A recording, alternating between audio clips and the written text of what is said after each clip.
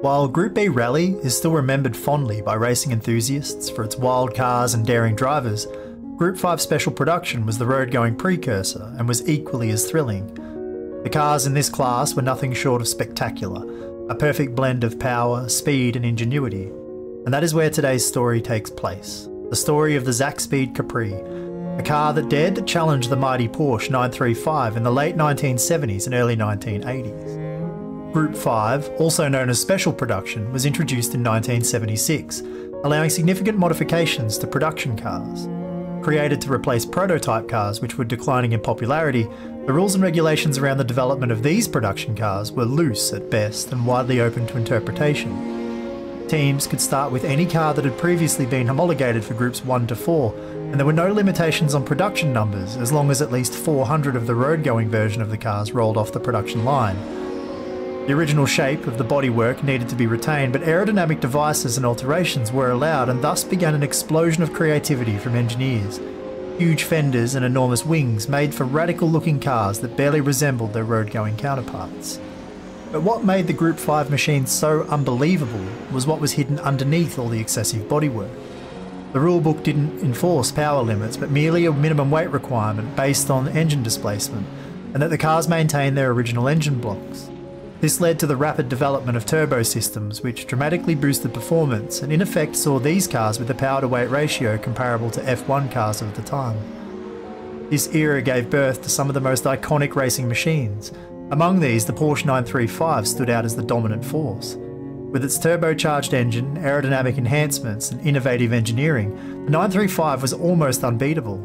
Aptly named Moby Dick, it dominated the World Championship for makes and the prestigious 24 Hours of Le Mans, cementing its reputation as the king of Group 5. Enter the Ford Motor Company, a name synonymous with American automotive excellence. Ford had a rich racing legacy but faced a daunting challenge to dethrone Porsche from its dominant position in Group 5 racing. Ford's weapon of choice? The Zakspeed Capri, a car that would become legend in its own right. The Zakspeed Capri was born out of a collaboration between Ford and Zakspeed, the German racing team founded by Erich Zakowski. Based on the Ford Capri road car, the Zakspeed Capri was a marvel of innovation. It featured a lightweight aerodynamic body designed to maximise speed and agility. The derivative of the car that competed in Division 1 class packed a turbocharged 1.7 litre inline 4 engine that could produce up to 600 horsepower. Quite the punch for such a small engine. This powerhouse of an engine combined with the advanced aerodynamics and lightweight space frame chassis allowed the Zakspeed Capri to achieve blistering speeds and exceptional handling. The battle lines were drawn, and the Deutsche Rennsport Meisterschaft, of the DRM series, would be the battleground where the fight would take place. An unusual format would see separate races at each event for Division 1 and Division 2 cars. Division 1 was defined as the big cars with 2 to 4 litre engines allowed and was also the place where the Porsche 935 was dominating. Division 2 was for up to 2 litre cars, but the unique format meant that the outright honours at the end of the season could be won by either a Division 1 or 2 car, depending on who scored more points throughout the season. The Zakspeed Capri was unleashed in the middle of the 1978 season in Division 2 configuration, where it took a miraculous pole position in its first ever outing after just one day of testing. However, reliability plagued the early performance of the car, which only lasted five laps in the race. One lap speed was there, and the car took three more pole positions before finally breaking through for victory at the season ending race at the Nürburgring. In 1979, Hans Heyer was able to put in a strong enough season to win the Division 2 title, but outright honours against the Division 1 Porsche 935 driven by Klaus Ludwig still eluded the Ford team. In 1980, Zakspeed upped their game and the 1.7 litre Division 1 Porsche killer was unveiled, Additionally, the previous year's champion, Ludwig, was recruited to wield the 600 horsepower weapon in an all in attack on the outright championship. The Capri performed well, but the rear wing on the car was protested, and all points from the first two rounds of the season were lost, leaving the team once again disappointed. Ironically, the outgoing Hans Heyer, now aboard a Division 2 Lancia Beta, was able to win the outright championship while the Capri and the 935 battled in Division 1. The 1981 season was where the Zakspeed Capri truly shone with both Division 1 and Division 2 cars now ready for battle. Klaus Ludwig moved back to Division 2 aboard the 1.4 litre car and Manfred Winkelhock was behind the wheel of the 1.7 litre Division 1 monster. Throughout the year, the Capri took the fight to the Porsche in spectacular fashion. Winkelhock was competitive in Division 1 and managed to snag six wins, including the last four of the year, which took a large number of the available points away from the Porsche 935, driven by Bob Wollek. Meanwhile, Ludwig's skill and the Capri's performance culminated in a season to remember in Division 2, clinching 11 wins from 13 starts and wrapping up the outright title. Despite the excitement and innovation, the Group 5 era came to an end in 1982, which was also the year that marked the beginning of Group B Rally, Regulations changed and the racing world moved on, but the legacy of these incredible machines lived on. The Zakspeed Capri's triumph over the Porsche 935 remains a highlight of this golden age of racing, a time when creativity and engineering brilliance pushed the boundaries of what was possible. So, in today's video we're heading back to 1981 for round 3 of the season at the Hockenheim Ring aboard Manfred Winkelhock's Division 1 Zakspeed Capri.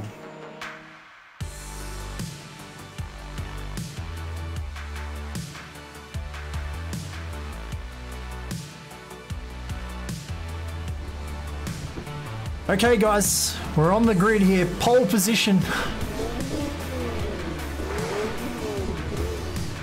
Oh, we're away, but very slowly. Welcome to Hockenheim. Round number three of the 1981 German Touring Car Championship, essentially, is what it is. And we are aboard Manfred Winkelhock's Division 1 Zakspeed Capri. And what we're trying to do in this race is rewrite a little bit of history because, as I already talked about, 1981, Klaus Ludwig went on to win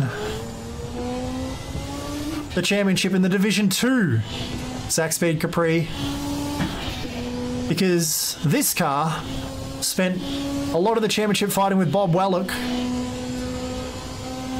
and ultimately came up just five points short of winning the Division 1 championship. Of course, because they fought each other so much. They could not get enough points to win outright, but the Division 1 honours went the way of Porsche. And five points is nothing. And in this race in 1981, Manfred Winkelhock started on pole like we have done here, but failed to win the race. He finished third. Jochen Mass actually went through to win the race, and Bob Wollek finished in P2, but that was five points advantage to Wollek in that race. And that was the winning margin in the end. So if we can beat him in this race, we turn the tables. If we do tie on points at five uh, if we do manage to get the five points back and tie, we do have more wins on the season and win the last round of the championship. So, in any form of countback, we would win a tiebreaker. So, what we're trying to do here is just win this one, or at least finish ahead of Bob Wollek in his Porsche 935 to try and get ourselves outright honours for the entire championship with Klaus Ludwig, but also Division 1 honours here with this car, Manfred Winkelhock's car.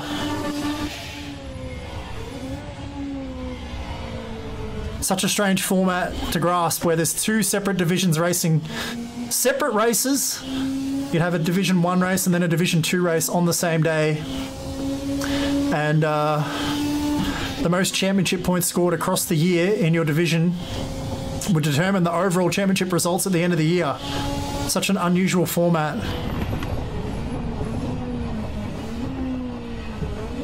We're taking it very easy here because we've got some rain about, as you can see. This race in 1981 started out like this, changeable conditions, it was wet, and it dried out as the race went on. And we got a great start here, but you guys can't see my mirrors, and we have got Volkert Merl and Bob Wollek right behind us. Both in Porsche 935s. So we cannot really afford to take it easy. Those things are unbelievable in a straight line as well, which as you can see is a large majority of this lap. We've probably got an advantage in the corners, but at the moment, in tricky conditions, so not really sure if it's going to be wet when we get to the corners or if it's going to stay dry, which at the minute it's sort of raining but not wet enough to get the ground too wet. I think it looks worse than it actually is. Lots of water on the windscreen here though. As I say that, I might have jinxed myself.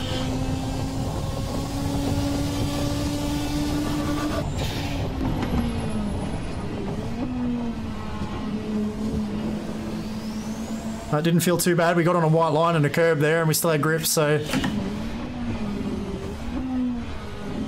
We're kind of the pioneer at the front. But they are behind me, just behind me. You might have caught a glimpse of them in the mirror there.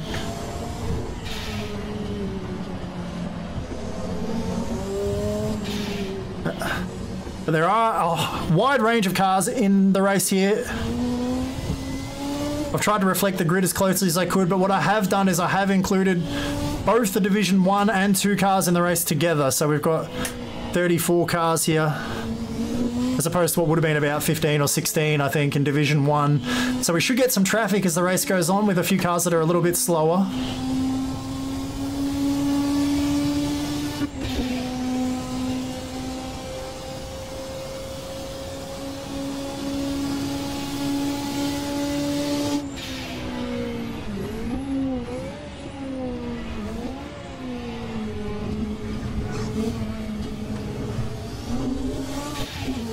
There's Volkert Merl right up behind me.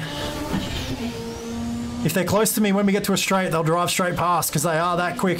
We've got an advantage in the corners, but it's difficult.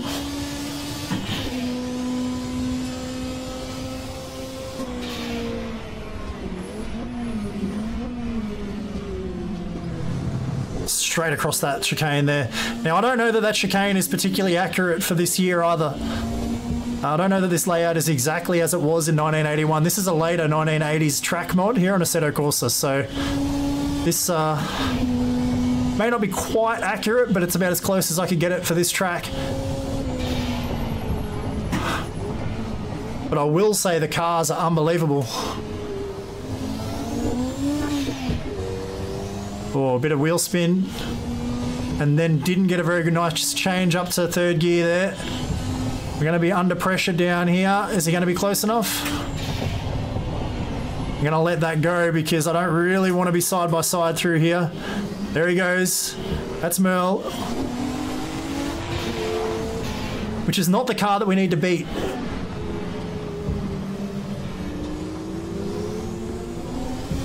The car that we need to beat is the orange car that's just behind us. Now, of course, I couldn't get all the skins to be accurate for the drivers at the time, but this mod, the DRM Revival mod, which you can find if you Google it, or I'll put a link in the description below, is unbelievable. Probably one of the most well polished and put together mods I've ever seen. Of course, you pay for it, it is a paid mod. It's got a terrible run through turn one.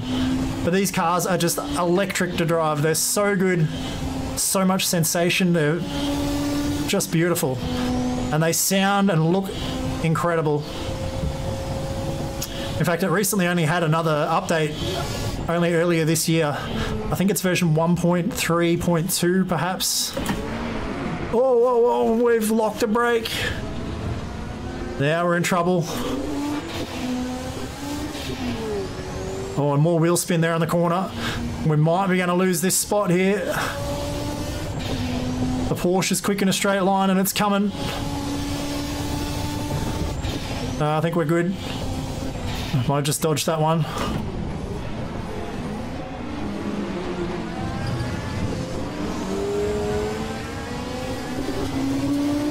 Oh, listen to that. Just the backfiring. So we've got some traffic here already. There's a couple of the Division 2 cars that we're coming up on the back of.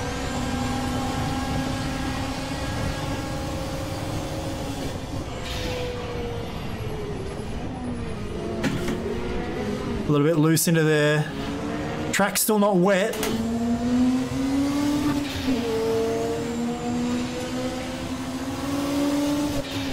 But there are quite a few different cars in the mod, I should say as well. Division 1 and Division 2 configurations. As we are right... Oh, big brake lock there to not run into the back of this car. That was really close.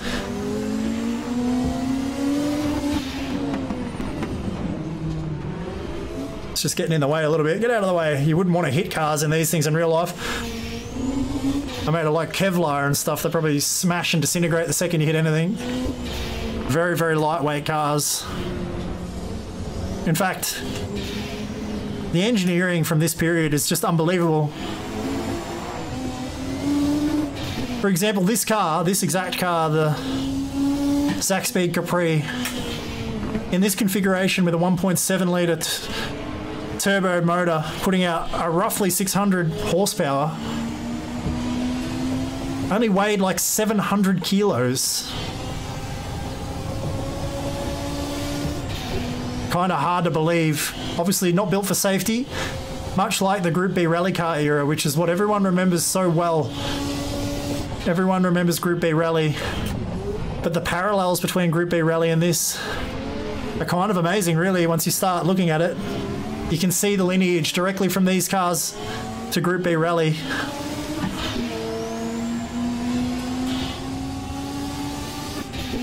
We pulled away from Mass and Wollek a little bit behind us now.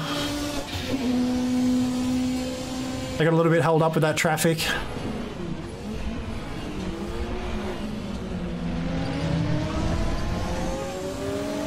I'm just laughing at coming down there into the braking zone. The brakes are more of a suggestion than anything else, but at the time, oh, this had four disc brakes on it, had rear disc brakes that came off the previous Ford that Zakspeed had worked with.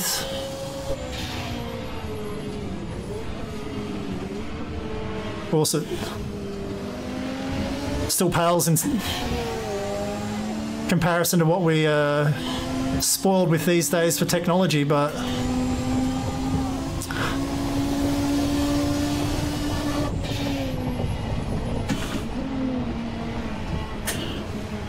It was really interesting though, just learning a little bit about how these cars were approached because the rulebook for this class was oh literally only two and a half pages long. It was seriously wide open for interpretation and like an engineer's dream. You'd never get that kind of freedom in anything these days, but some of the stuff they did in these cars was really quite impressive. Oh.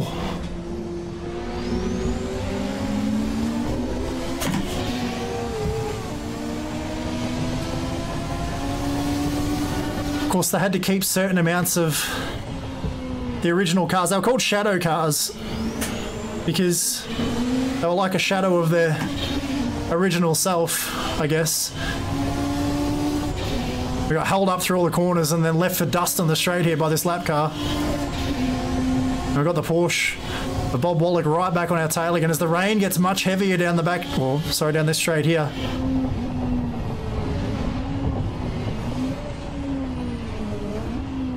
Just got to take it a little bit carefully under brakes just in case we've got low grip.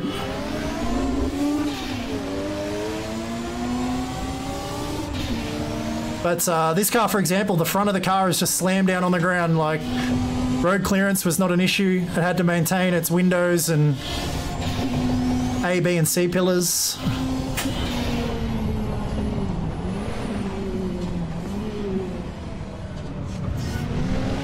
But the front of the car has just dropped straight on the ground with a huge spoiler on the front.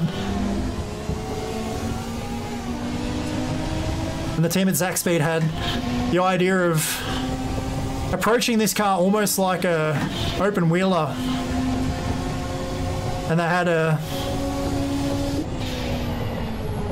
floor that they basically just stuck to the bottom of the chassis, the original chassis of the Capri. And it was something like you'd only see in a monocoque type car, like an F1 car. And it created a huge amount of rigidity in the car, which obviously helps with handling, but in addition to that,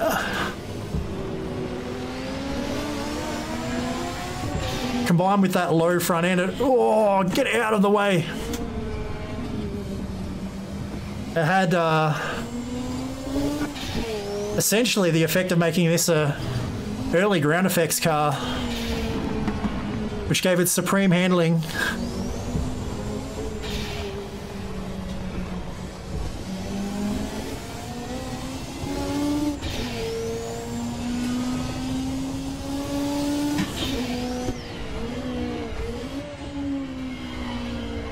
Course, the space frame chassis and roll cage was another thing that they did in this car that was kind of brilliant. It weighed 70 odd kilos complete to keep everything super lightweight. Of course, they were not designed to be crashed like nothing was in those days. That was an afterthought. Safety was very much not the priority when building these types of cars.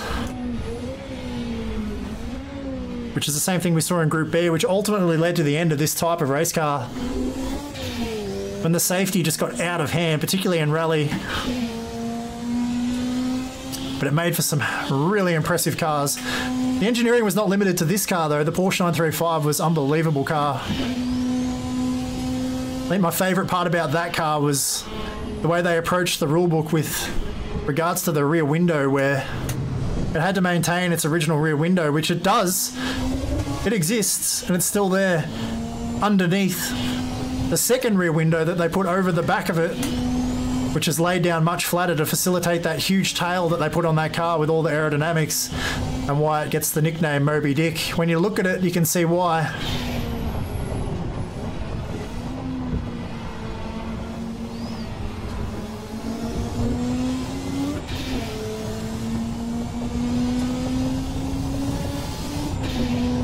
The rain is just starting to get worse and worse and worse.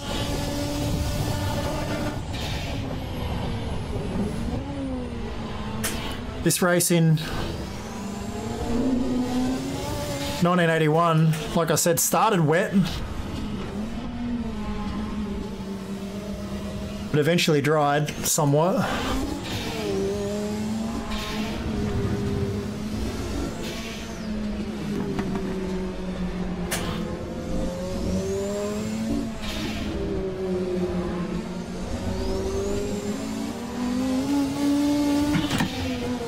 All the wheel spin.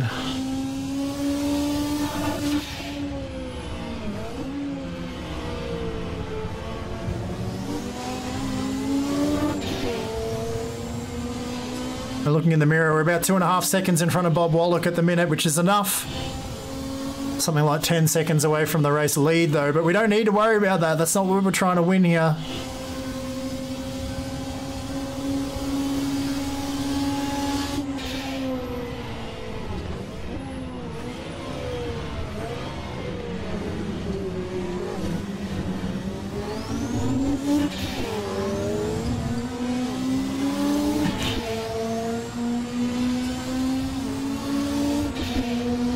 Just range up here and pass.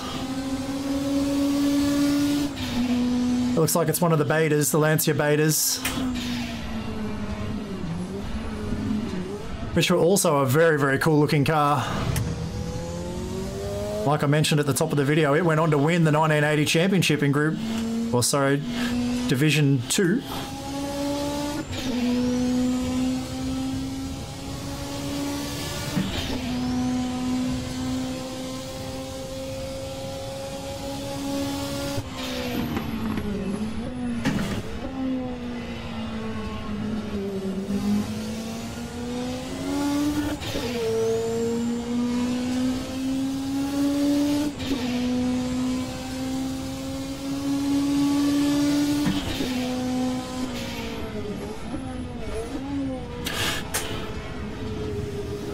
Everything about these cars is just so manual.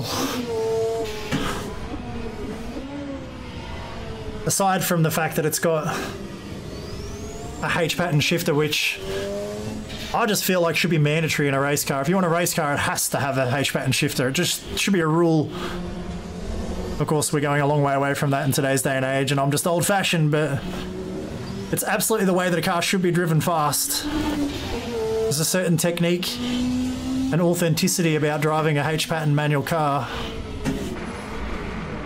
As I say that, I completely missed the downshift coming into turn one, which is another thing about it. It makes it tricky. These cars are not easy to drive. In fact, the hardest part about them, apart from the braking, which is, like I've already mentioned, pretty difficult, is probably the uh, the turbo lag and trying to manage that.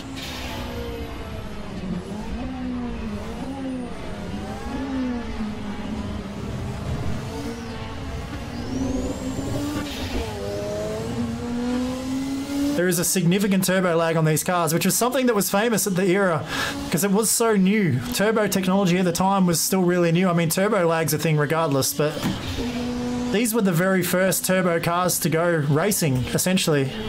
This is where the turbo race began in these cars. I mean, again, that was interesting there, like just slipping and getting huge turbo, but not getting the drive to go with it. But the uh, that Group B rally car era, we're so used to seeing the huge turbos. As this is Ludwig in front of us, our teammate in the Division 2 car.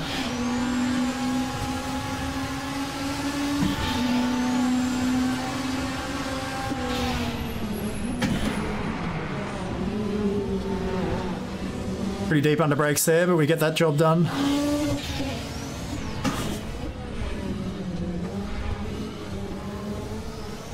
Oh, huge wheel spin there. That was almost a crash.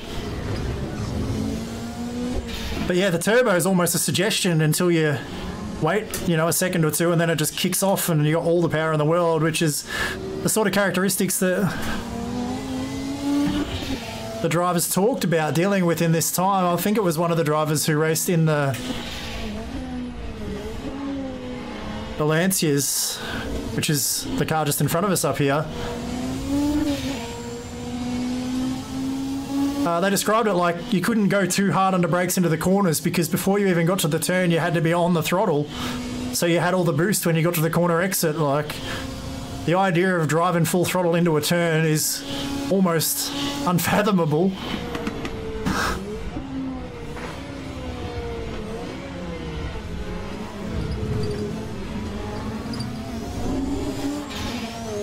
Big lot of clouds coming over the track at the minute.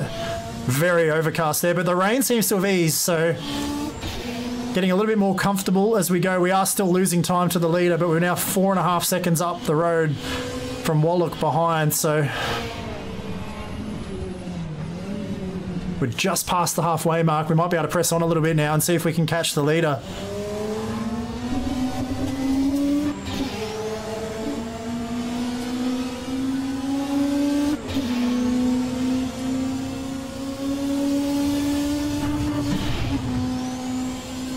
That was a bit wild in the dirt.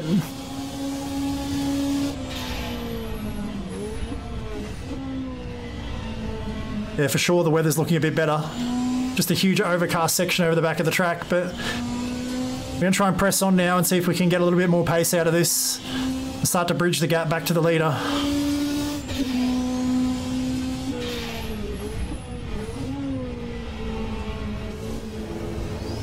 Tyres and everything are nicely up to temperature now as well.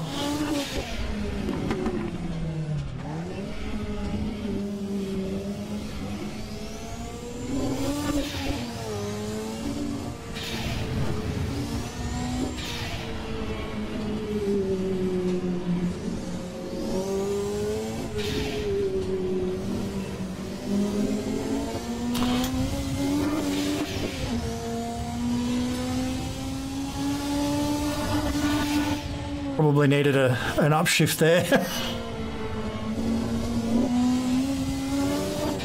it just glides through the corner and then the turbo kicks in and it just goes into oversteer. This is my favourite part of the lap down here into this braking zone. Fifth gear and the turbo and then the backfire when you lift off.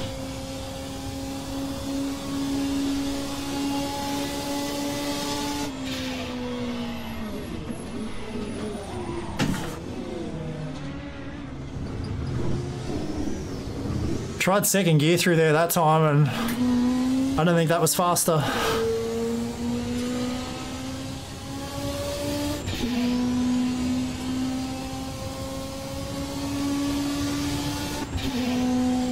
God, that sound.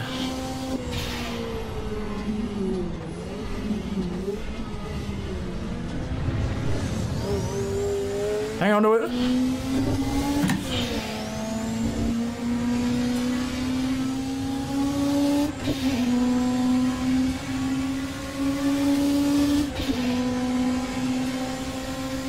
Come up here and go cruising past the BMW.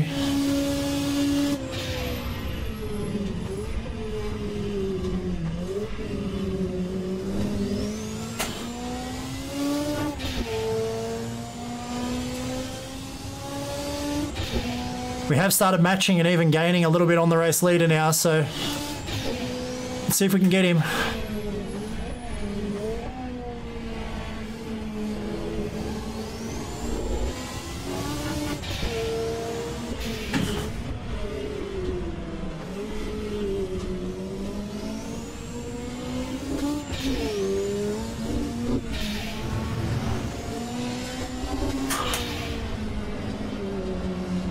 Fast into there. We just keep it on the track.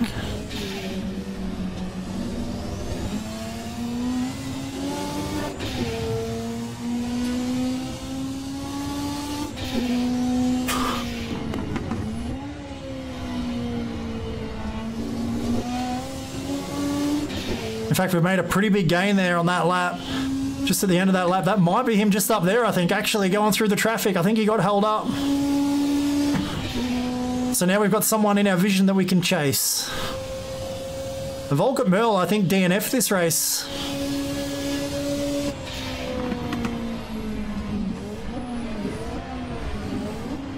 It was Jochen Mass who actually drove up and won. He currently sits P4 on the track. But you can see it was all the Ford Capri and a series of Porsche 935s that were uh, the cars to beat. There were a bunch of BMWs on the grid in Division 1 in this race.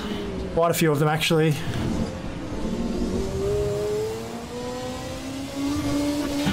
And they are in this race as well. I've got them in here, but we haven't seen hardly any of them.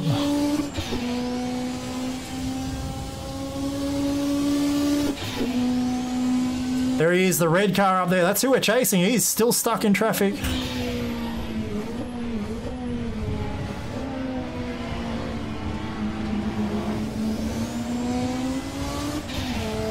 I'm not sure why, but I'm not complaining about it because it means that we're right on him.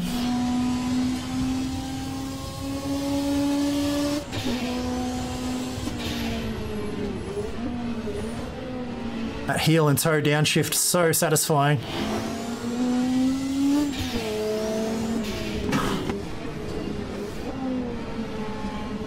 Of course, we wouldn't have had Class B traffic or Division 2, I should say, traffic to contend with in the real world.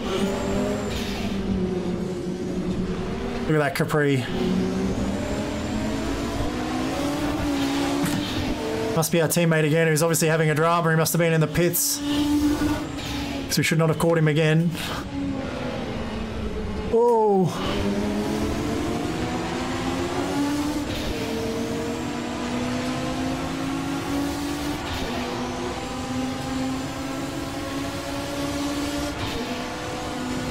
And that car's fast in a straight line.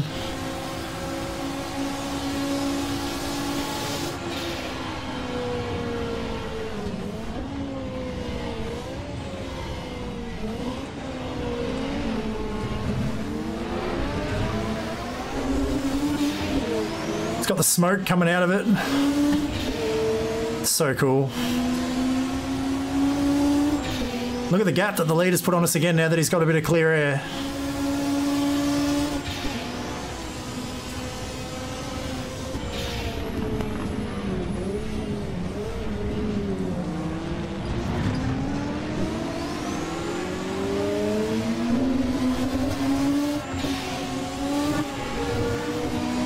Oh, don't hit your teammate. Sorry about that.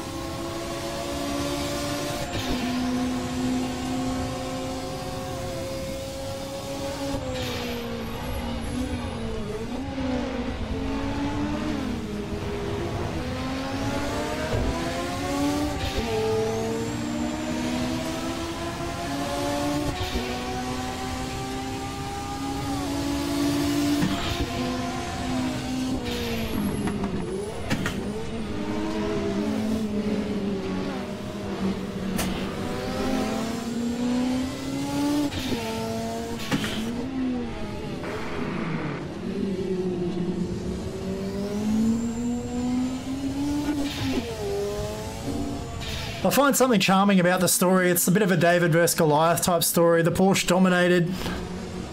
Ferrari dominated in the 60s at Le Mans. Ford just enjoy coming out and spoiling the party. Coming over to Europe and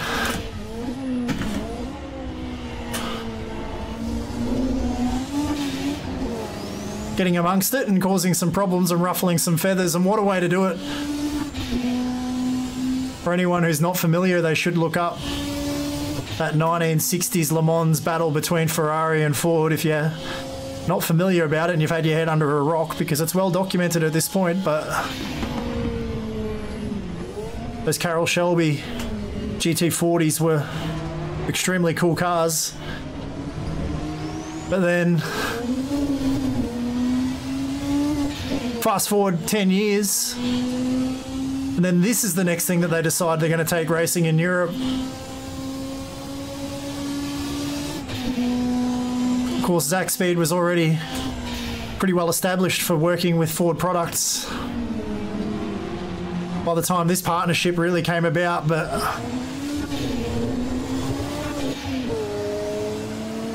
what an absolute weapon of a car.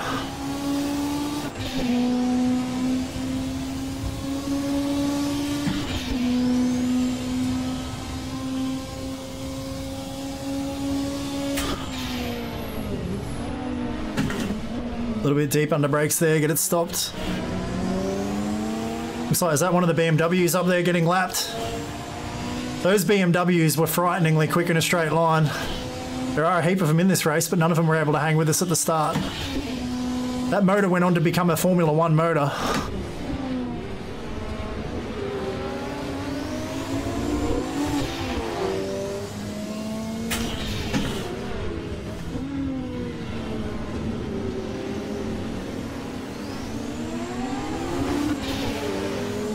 So we're right with the leader again. Oh, oh, it was a bump. He's gone. That's not how you want to pass someone, but we'll take that.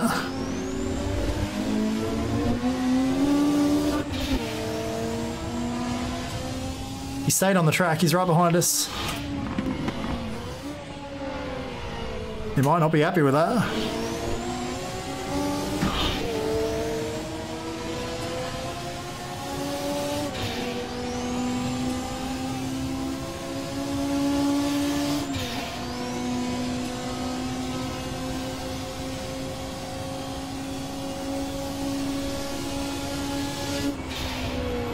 Oh, he sent it. It's gonna stop. Wow, what a pass. Supreme braking there. Okay, so status quo. We'll go after him again. Might have lit a fire under him there. I got a pretty good run down the straight, and I didn't know that he'd catch me, but he did.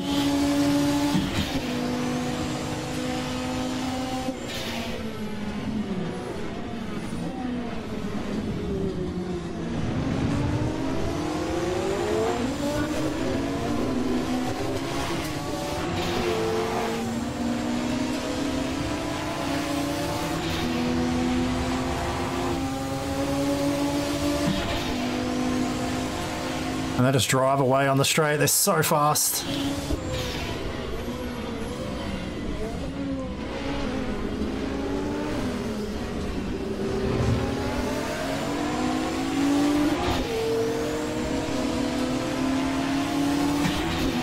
And I'll tell you who is moving at the minute is Bob Wollek in P3. He's caught us up by like six seconds in the last couple of laps. So we can't dawdle too much here.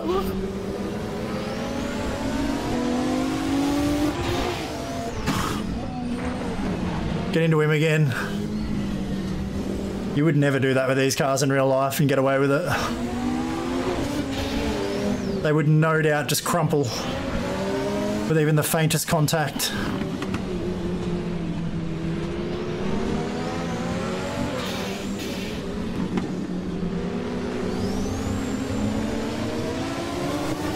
Oh, big, big, big, big oversteer moment right there.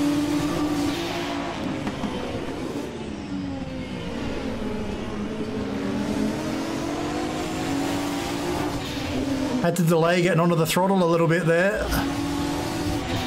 So I thought I was going to hit him in the mid corner, and look what happened. They drove away off the corner now. Even with the draft, I'm not catching. I'm not catching. BMW is so quick in a straight line.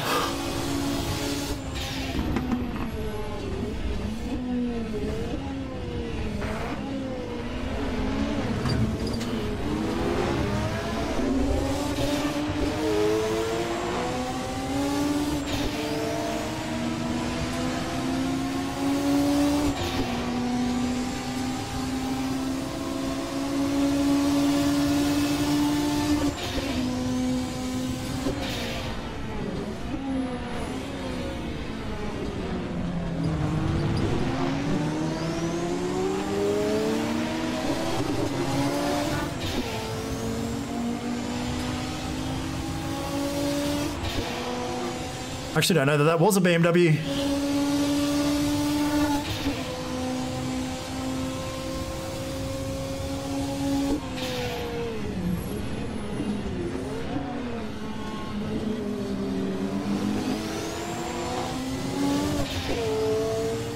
Either way, eyes forward.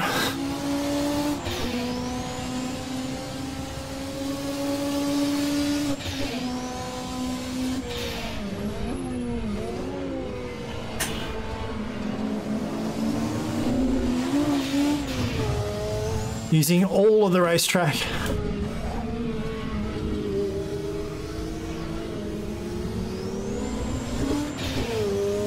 Two laps to go.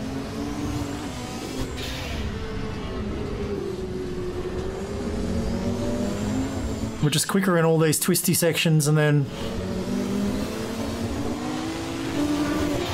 we hit the straights and they disappear.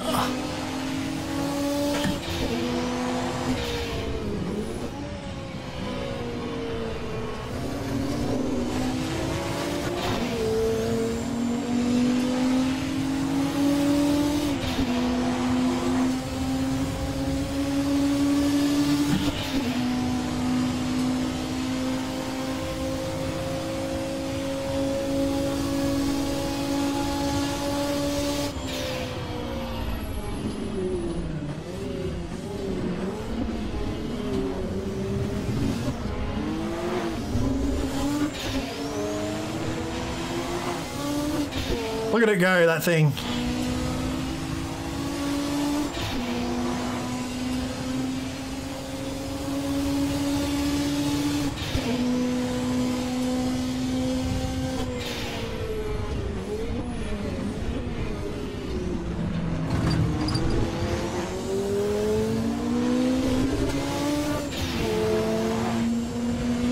Trying to keep the foot in it and just control the back of the car even though it's getting pounded with boost out of the turbo.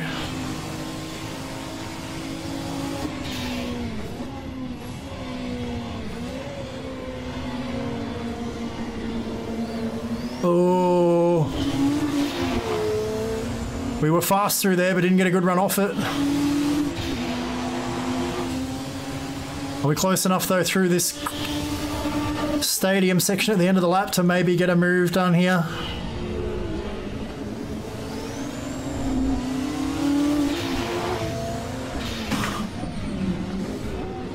Sort of left a gap. Not quite, can't quite get up there. Oh, he made a mistake over the curb. He's run a little bit wide there. Oh, we got into him again. But not the first time at that spot. Just a little bit slower through that corner than us. Just a huge drift all the way under the main straight. One lap to go.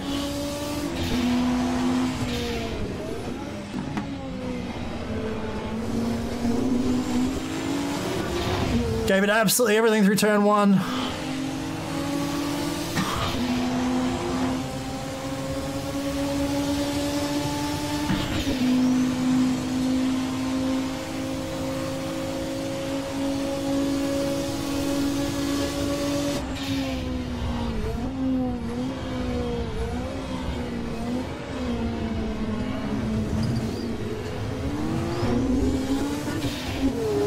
Well, all I say is this, guys. I hope you've enjoyed this video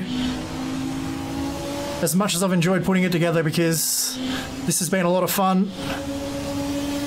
If you want to see more like it, please let me know in the comments below. Of course, don't forget to like, subscribe, do all that stuff. It all helps.